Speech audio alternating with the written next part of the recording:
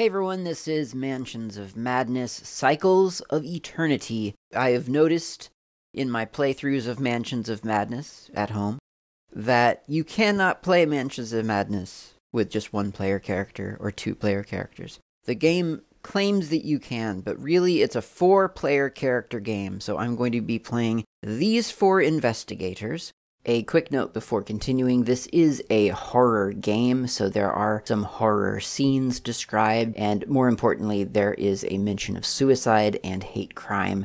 Very brief, but it is a thing. Also, insanity is a major theme of the game, so if any of that doesn't appeal to you, maybe skip this, this mini series. And as part of the setup stage, uh, before we go into the scenario, I'm going to review each character so we know what we have to work with. Carson Sinclair. Health is 8 and his sanity is 6. So high health, fairly low sanity, threshold, that's okay. His strength is 3, agility is 2, observation 5, lore 4, influence 4 and will 3. So his strengths, his his uh his greatest attributes really are his observation, his knowledge of lore, and his affable influence. Here's a little bit of background about Carson. Carson Sinclair has served three generations of the Webb family in Arkham, first as a footman and later as a butler. Always proper, Carson watched with disapproval as his most recent employer, Hercule Webb, began bringing bizarre artifacts and profane tomes into his house, engaging in occult studies. He was aided in these endeavors by his business manager, the disagreeable Dupuis. Disaster struck when Mr. Webb was drawn through an impossible hole in the sky while Carson brought his evening tea. No one believed Carson's description of the event, and with no proof of Mr. Webb's death, control of his estate passed to Dupuis, who has quietly siphoned funds from the Webb Trust and effectively frozen out the Webb children. Carson has resolved to get to the bottom of the matter for the children's sake. It's always for the children, isn't it? His special ability is uh, another investigator within range may perform one action. Activate this ability only once per round. So that's kind of huge because this game really is it's all about how many actions you have. That's the the main timekeeping device is is what you get to do before the monsters do things. All right, next in line here is Rita. Rita Young. She was actually the first player character I ever played in Mansions of Madness. Luck of the draw. Her health is 9, so quite good. Her sanity is 5, so that's quite low. Her strength is five, her agility is four, so she's very good physically. Observation and lore are three. Influence is two, which is like really low, and her willpower is four. Rita has always been a, eh, has always been good at running. Growing up in the South, she was well acquainted with discrimination and knowing when to make herself scarce. When she came up to Arkham to attend Miskatonic University on a track and field scholarship, she found things had not changed as much as she had hoped. The creepy people chasing after her were wore black robes, not white, but Rita ran all the same. When her roommate was attacked in the night while wearing Rita's jacket, Rita decided to do something about it. She started looking into the matter and found that the mysterious assailants were not part of the Ku Klux Klan as she had assumed. Now Rita eagerly pursues any chance to investigate the unknown and hidden cults that flourish right under the noses of the authorities. She is done running. So that's Rita. Really great character, like her a lot, really powerful, physically anyway. But her special ability makes her even more powerful. Uh, I mean, it's a physical special ability, but uh, she can move uh, an extra space during a move action. Moving is an action, so you have to elect to take it. But when she moves, instead of moving the standard two spaces, she can take an, an extra space. And again, that's kind of huge because it's cramming more actions into the player character turn. and that's a big, big deal in this game, as I've stated. This here is Charlie Kane. He's a little bit of an outlier. He is not from the core set. He is from the, I think, Sanctum of Twilight set, or maybe the Threshold, Beyond the Threshold expansion set. Either way, he's he's not from the core box, but I mean, he's a good character. He's got a good ability, so I'm going to use him. Uh, he's got five str- um, health, so that's re- quite low, but he's got nine uh, sanity, so that's quite high. Although, as you'll see, health is really the, the key in this game. I think more than the, the sanity, but I mean, because health, I mean, you just when you run out of health, you're just you're just dead. Charlie Kane, strength of three, agility of two, so not great physically. Uh, observation is four, lore is three, influence is five. He's literally a politician, so I mean, he's got high influence. And will is four. So his strengths again observation, influence, and will. His story Charlie Kane's campaign was founded by casting him as a man who took on the most important issues facing Arkham. Between his legion of political allies and his healthy amount of personal funds, he felt uniquely qualified to handle anything being an elected official brought his way. Monsters, cults, and strange rituals were the furthest thing from his mind, but in order to keep Arkham safe and his constituents alive and voting, he knows the most important issue is defeating the supernatural forces at work in his city. His special ability is uh, while in wh- while within range, that's three three spaces. While within range of a person, so that's any any person, not not just another investigator, but any person in the game. Within range of a person, he may convert a clue to a success, and he gets to activate that ability once per test on the special um, Arkham, or uh, rather Mansions of Madness dice, there's a blank side, a success side, and a clue side. The clue is this magnifying glass. So as long as he's within three spaces of another person, he and he rolls a magnifying glass, he can convert one of those magnifying glasses to a success, which is huge. I think I forgot to read out Carson's special ability. No, I didn't. Someone gets an extra action with Carson. Rita can move farther than anyone else, and Charlie gets to convert a die from clue to star for nothing. And then, last but certainly not least, is Minh Thi Phan. Uh, she's got seven uh, seven health and seven sanity. Her attributes are very much middle of the road. Strength is 3, agility is 4, observation 4, lore 3, influence 4, will 3. So, I mean, her strengths, I guess, are agility, observation, and influence, but I mean, they're just 4, so it's not, it's nothing amazing, but her ability is that once per round, you or another investigator within range may re-roll a die while resolving a test.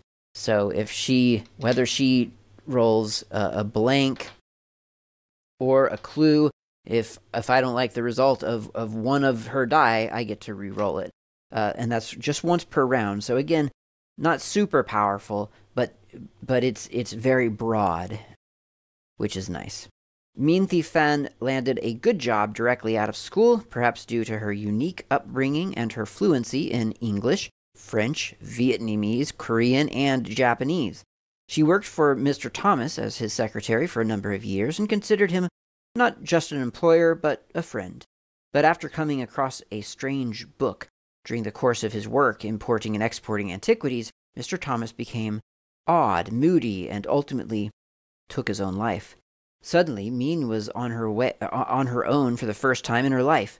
Uncertain what to do, Mean set about putting Mr. Thomas's affairs in order and soon discovered that his import and export, export business had exposed him to a dark and hidden world of the unknowable and unthinkable.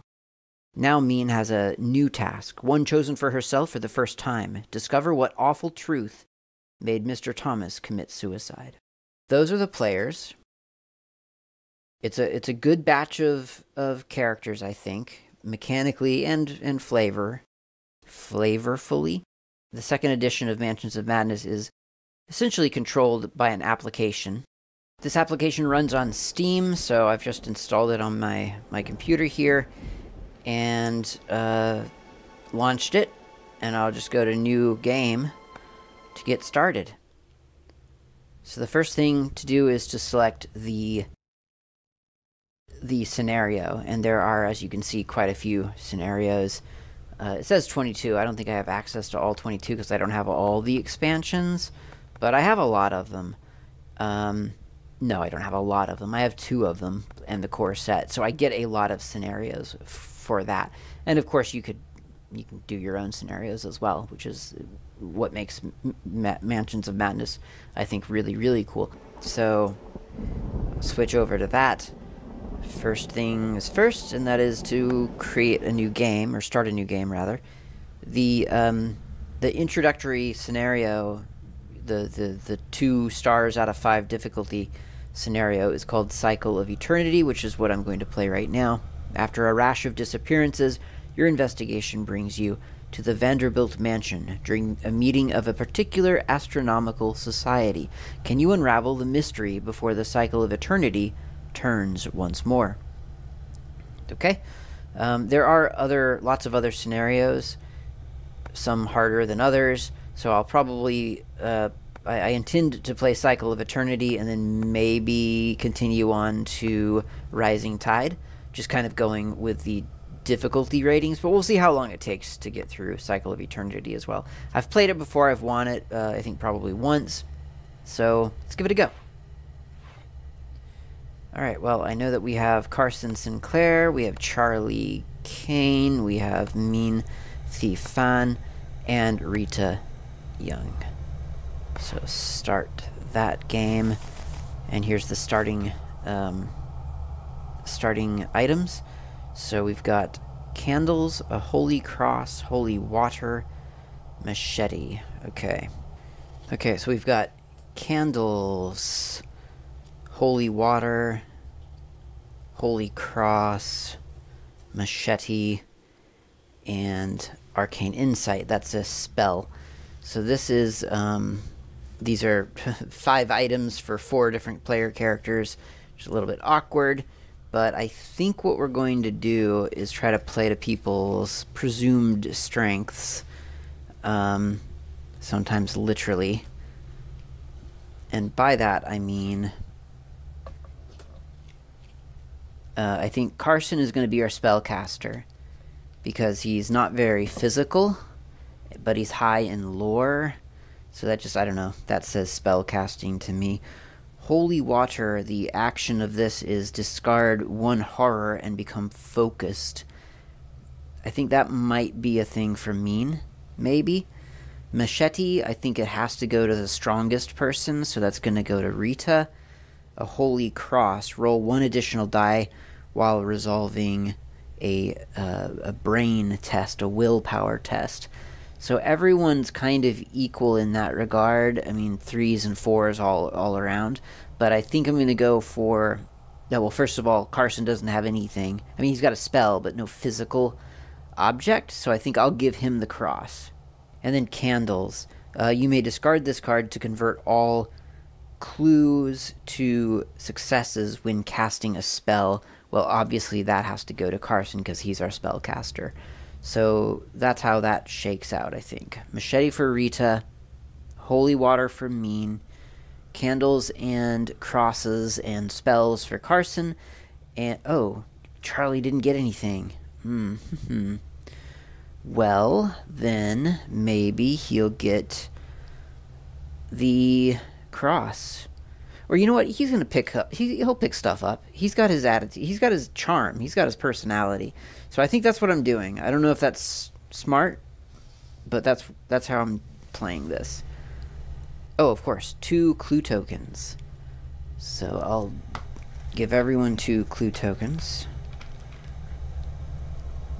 Clue tokens are currency that you turn in when you roll dice or you may turn them in when you roll dice. If you get clue tokens on your die, and you want to convert one to a success, you pay a clue token, and then you convert that to a success. So they can be very, very, very valuable. You slump into your office chair after another long day of interviews. You have been investigating the disappearances surrounding a wealthy neighborhood for two weeks, but you have nothing to show for it. The telephone rings. You answer and hear the panicked voice of an older man. Is this the investigator who visited the Vanderbilt estate? You flip through the files on your desk. William Vanderbilt, a wealthy bachelor, mother rece- recently deceased. He had refused to meet with you, but you were able to speak to several members of his serving staff. This is Eugene, Mr. Vanderbilt's butler. I did not know who else to call. The police think I'm crazy. Unnatural things have started happening here, and I am worried for my master. I think he is in danger. Please help. Finally, a lead. You hang up the phone, throw on your coat, and leave for the Vanderbilt estate. Your car rattles up the uneven drive, pulling to a stop in front of the estate. Several cars and carriages are parked along the drive. However, the butler who contacted you is nowhere to be seen. You knock on the large oak door to no response. Fearing something has happened, you try the handle, and the door swings open into a lavish entryway. Place the lobby tile and walls as indicated.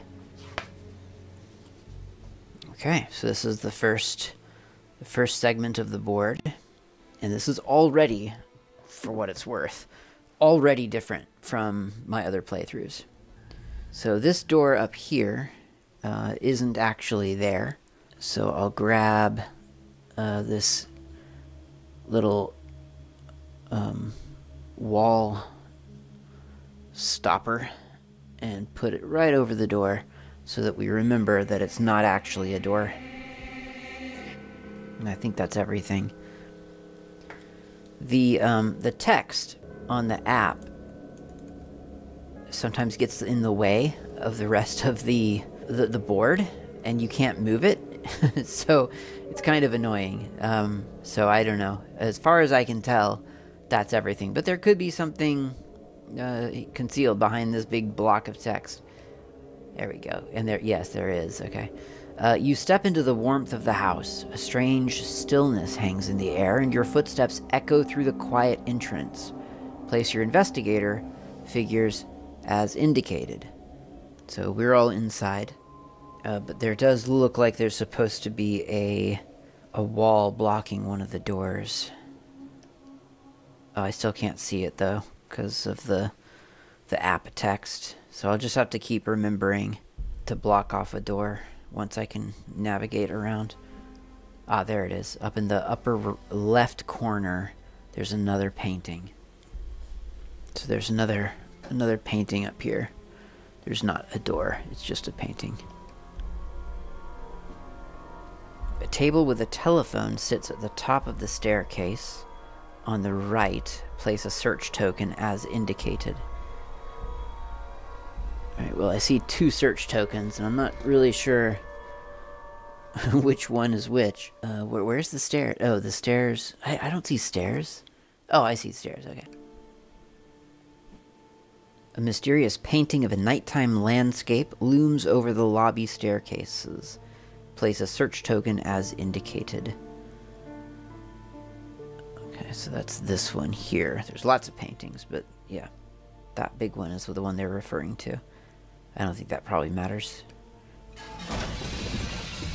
Oh dear, the silence is broken by the muffled shouts and sounds of a cra of crashing pots and pans coming from the door on your left. Place an explore token as indicated. You notice a shelf stacked with books and other objects nearby. Pushing the shelf in front of a door would act as a barricade. Now, I'll be honest. These barricades. They haven't really worked out all that well for me before.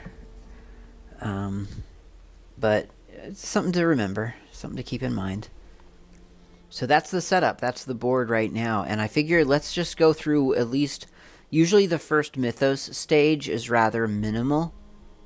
So um, I'm going to say let's just let's start this game, and uh, and we'll see where it takes us. Okay, so uh, we know that Mean is here. She could go upstairs.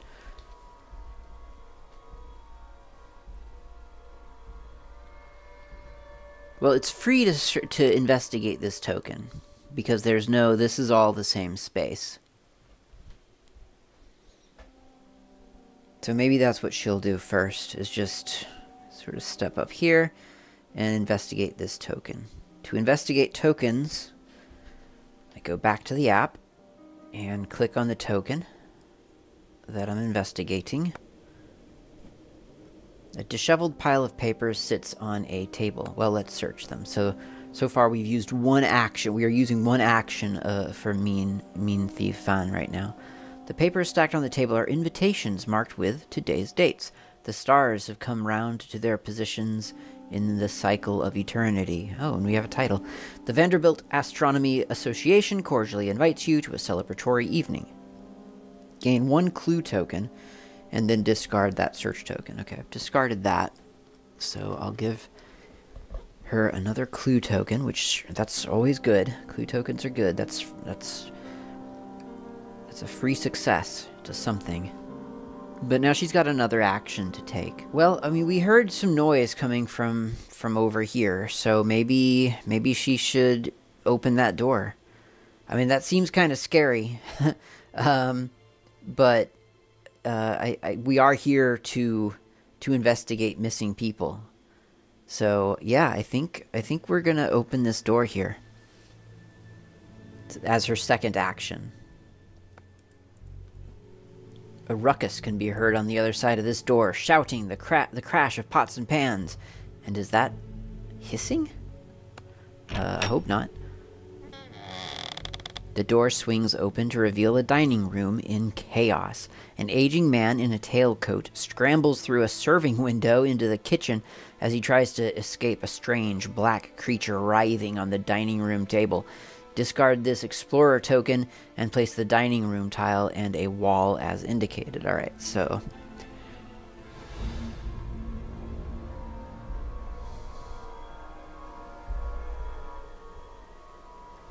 looks like this door way up here doesn't actually exist, so we'll put a little bookshelf there. The creature turns to face you, its black serpentine body shifts and changes, playing tricks on your eyes as you try to focus on it. The creature unfurls its leathery wings and unleashes a blood-curdling screech. Spawn a hunting horror, as indicated. Then suffer two horror, but a will check negates. Okay, so this is our first test, but also a, monster. I need to grab the monster token.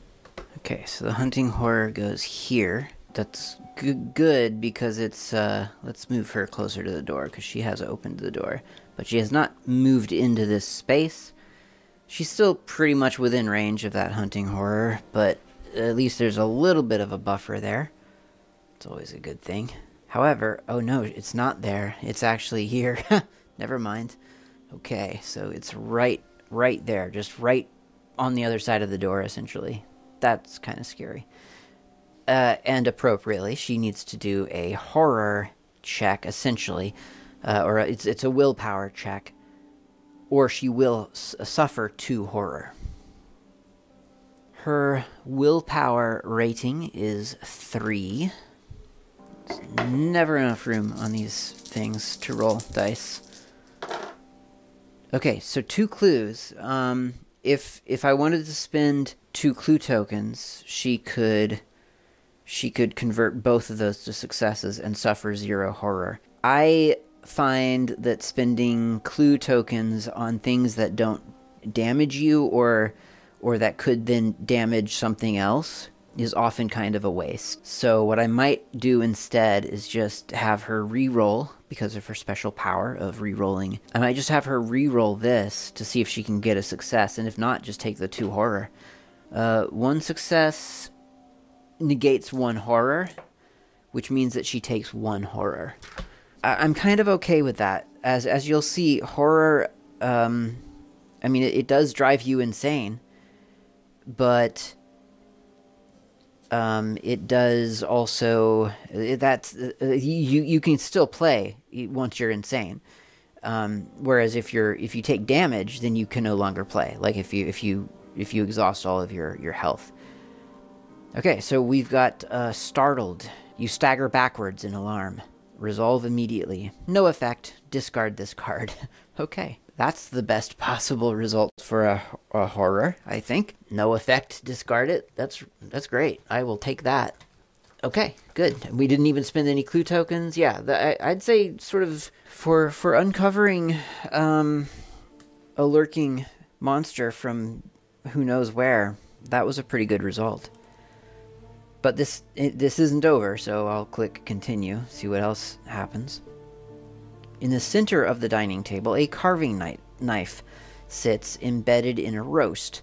Place the knife common item as indicated. So that's in the same room as the hunting horror. Eh, a knife is just one additional damage if you use it, so I don't I don't know if I guess it's probably better than attacking something unarmed, un completely unarmed. But one one extra damage, that's not actually all that all that great, I guess. Um, it says that an investigator can pick up this item in the space as part of a trade action. So it is an action to, to pick it up. A china cabinet stands against the wall, though it looks to have been repurposed to store all manner of knickknacks. Place a search token as indicated. You can see a kitchen through the serving window. Most of the cabinets are ajar due to the food prep, but one that has been locked shut with a chain catches your attention. Place a search token as indicated. In the kitchen, you can also see that someone has left the refrigerator open. Water leaks out into a puddle on the floor. Place a search token as indicated over here in the corner. And last but not least, you spot the old man you saw climbing through the serving window, huddling in the corner behind the oven. Sweat beads off his brow and his eyes bulge in terror. Place a person token as indicated. This is Eugene, the butler.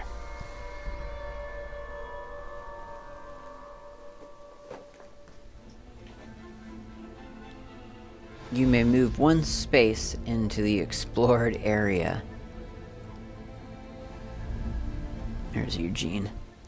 Uh, moving one space into the explored area for mean with no actions remaining um, does not appeal to me. I think she is going to very politely just kind of step to the side there, just in case someone else wants to rush in and take care of this beast from beyond the realm of reality. And I think that is exactly what we'll do. So, um, like I say, we could technically barricade the door and hope that this thing doesn't just burst through. It looks rather sizable to me, so I don't think that's going to keep it for very long. And um, I think we just need our strongest player to move in, player character, to move in and start attacking this creature. And that's that's what we're going to do. So she's going to rush in. That's one move. And then for her second action, she's going to attack this creature. Now, the attack mechanic is handled through the app. I'll click on the monster drawer over here on the left, and then click on the monster. here's the monster's little stat card. So it's got uh, 7 health. I mean, it's not as much as it could be, I guess. Numbers get pretty high, but 7 is pretty, that's a lot. So I'm just going to attack. What type of weapon? Well, Rita has a machete and a machete is a bladed weapon. So that's what we're going to use for the attack. You cry out in fury and slash at the creature, your eyes and blade gleaming. Agility and I need two successes of agility. If you pass, well, well let, let's roll and find out what happens. I was certainly hoping that it wouldn't go off of agility and that it would go off of strength, but her agility is four, so that's not the worst thing in the world. It just happens to not be as good as I'd sort of hoped.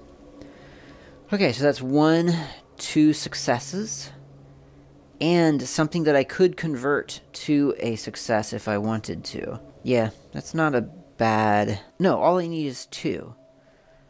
Right? Let's read the text again. I mean, that is correct, but I just don't remember if... Some attacks benefit from more success. If you pass, your frenzied attack draws blood.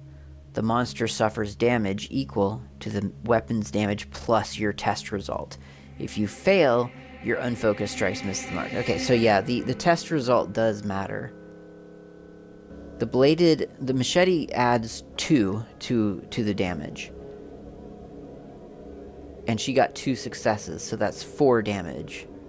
If I convert that clue token to a success, that's five damage, leaving it with only two health points remaining. And um, as I said, I spend clue tokens essentially in combat.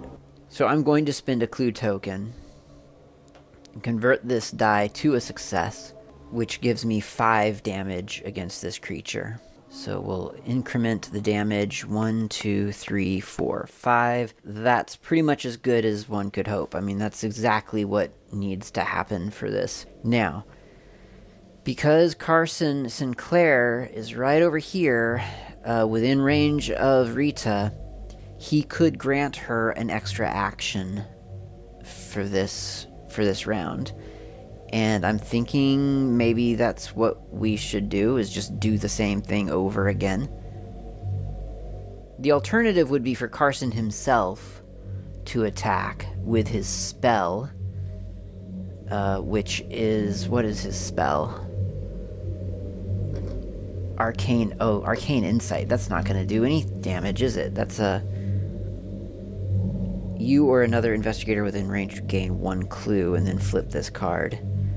Yeah that's so he's not going to be attacking with that. No one else has anything yet by way of weapons so it would have to be an unarmed attack and no one's as strong as Rita so yeah. Rita may as well just take that extra action from Carson and do another attack with her bladed weapon. You stab at the creature, but your blade sticks and does not penetrate. You slam the pommel of the weapon with your other hand, hoping to drive the blade in. Strength 2. If you pass, the blade lurches forward and the damage uh, is equal to your test result plus 1. Okay, so we're essentially losing any bonus from that machete. Really? But we're rolling five die because it's based on her strength rather than her agility. So let's do that. Uh, there's two, two, two successes in there. Yeah, and that works. Equal to your test results, so that's two. Plus one doesn't even matter because we've just removed this monster from the board. Creature lurches to the ground dead. Hearing the monster of uh, hearing the monster's final fate, the old man in the kitchen cautiously steps out. Move Eugene as indicated. So he's going to move two spaces out into the main room here. So there's Eugene. And she's already taken her extra extra turn. Minh has taken her turn. So really it's Carson and Charlie remaining. Well, Charlie specializes in influence, as you might recall. So this could be the perfect thing for him to take care of. So I think I'm going to move him into the space with Eugene. I think you have to be in the same space to interact with people.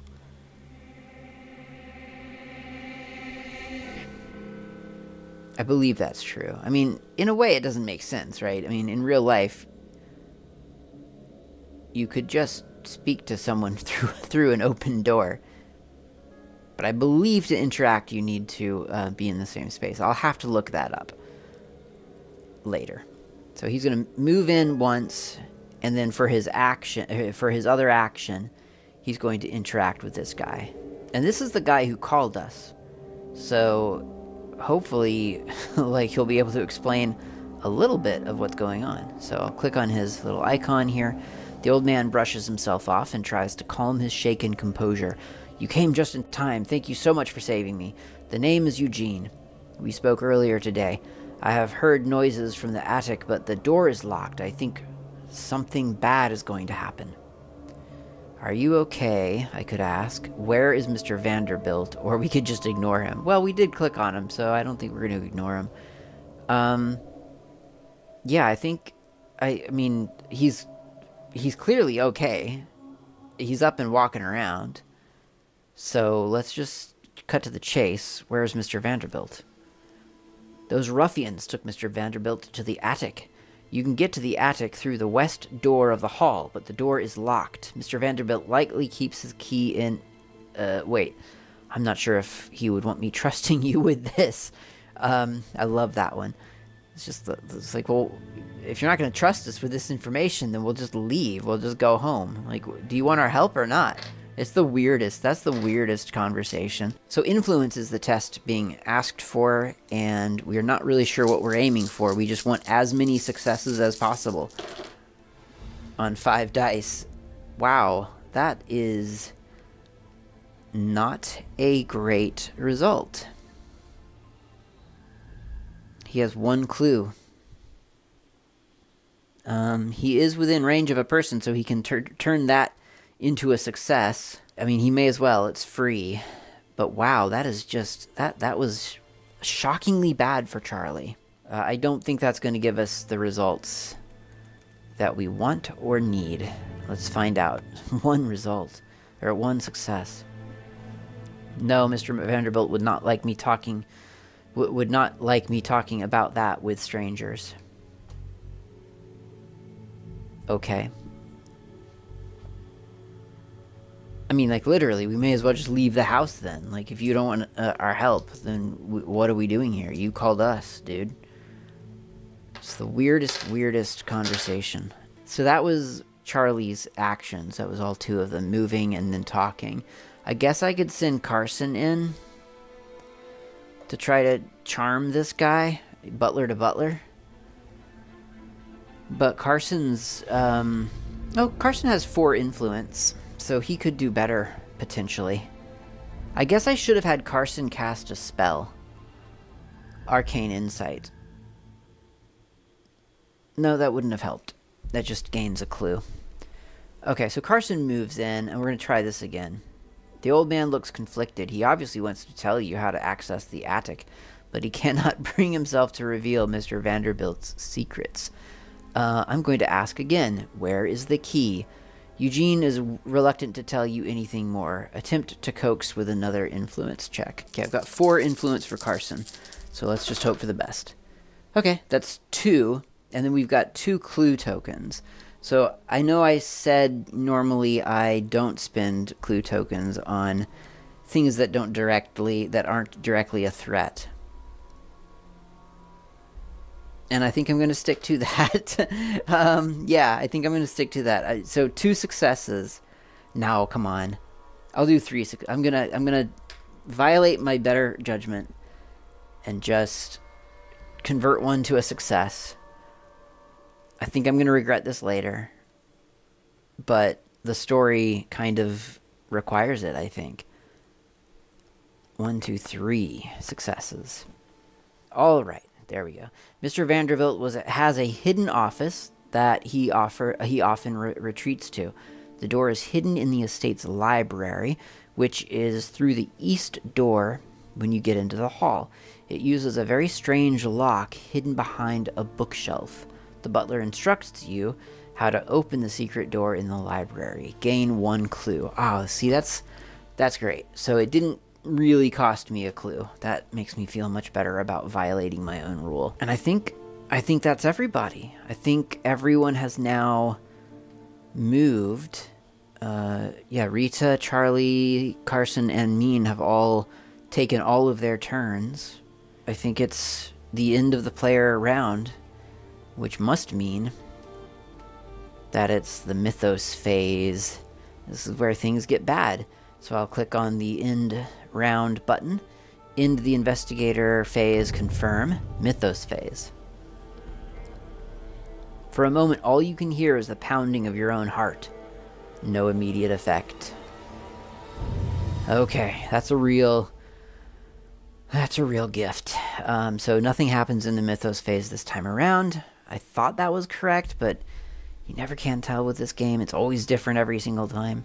So that's really good. That's a good first uh, round, I think. I got I got information on uh, ostensibly where to find the key to the attic, and then we need to get up to the attic so that we can rescue Mr. Vanderbilt. Seems cut and dry, really. Let's just do that next time around. Thanks for watching.